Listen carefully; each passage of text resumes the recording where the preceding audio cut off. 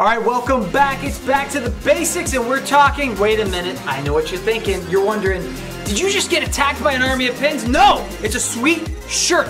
But you know what we are doing? We're talking about BGP. That's what we're talking about. Let's go!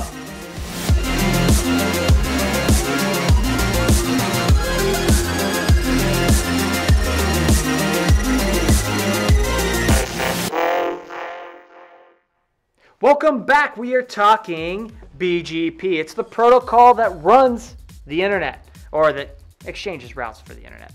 Uh, and it's it's a routing protocol. It's used between typically between organizations and an ISP or an ISP to an ISP. In some cases, it's used within a large organization because they've got tons of routes and they need some way to manage and control them.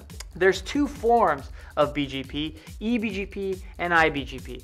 iBGP is within the same autonomous system number and eBGP is external BGP, which is between two different autonomous system numbers.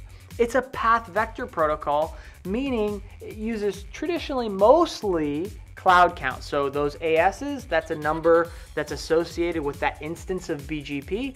It counts those up, and the shortest path goes in the routing table. The longer paths get stored.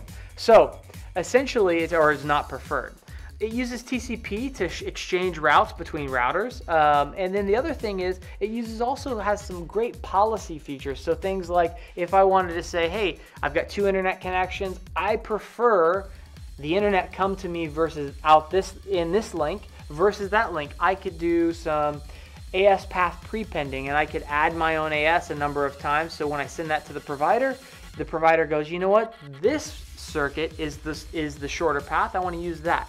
I can also do things inbound when I learn routes. I could give certain local preferences to connections and to routes uh, so that I prefer that connection versus another. So you get a lot of flexibility with BGP. Plus, if we can fit all of the internet's routing table into it, we know it's a scalable protocol.